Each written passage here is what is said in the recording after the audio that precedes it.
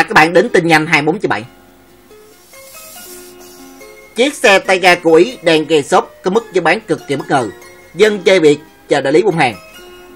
Mẫu xe tay ga mới Opreda SA15 vừa được bắt gặp tại một lý với hai màu xanh và bạc, nhìn rất cuốn hút. Với những ảnh mới nhất về cái dòng Opreda SA15 được một bạn đọc trên cái trang AAP chụp tại một đại lý trước khi lên kệ ở thị trường Nam Á. Cái mẫu xe tay ga này có thiết kế hai màu gồm xanh da trời và màu bạc. Trước đó, Aprilia SA 105 được bắt gặp thử nghiệm vào tháng 7 năm 2007. Xe được cho đã có những đồ họa khác biệt nhau. Y ngồi có cái tông màu đơn đen, đối lập với cái tông màu kép trên yên xe SA 150. Cung cấp sức mạnh cho cái dòng oprera SA 105 là cái động cơ giống với cái VXL hoặc là XXL 105 của Big 3.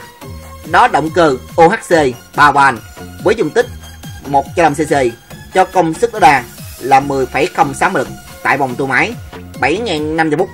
Cùng với đó là mô men sắt cực đại 10.6 Nm tại vòng tua máy 6 phút. Đi kèm với động cơ là hộp số biến thiên liên tục. Theo nhiều đồng đoán, Opera đã cải tiến động cơ này để phù hợp hơn với một mẫu xe tay ga thể thao.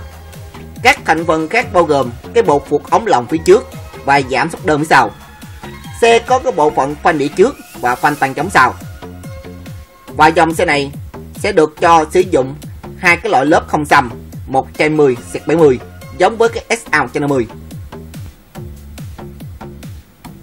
Về ở phân khúc xe tay ga thể thao 105cc SA 105 của Aprilia sẽ cạnh tranh trực tiếp với mẫu xe đang nặng ký là Honda Gracia đang làm mưa làm gió tại thị trường Nam Á.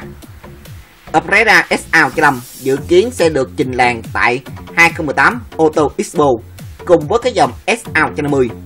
Hiện tại thì giá bán của xe chưa được công bố. Nhưng theo giới thạo xe cho biết, cái dòng xe này được lên kệ Ấn Độ có mức giá rơi vào khoảng là 65.000 AS, tương đương là 23,3 triệu đồng Nam Hy vọng các lý chuyên nhập khẩu xe máy Việt Nam sẽ sớm nhập khẩu em nó về nước.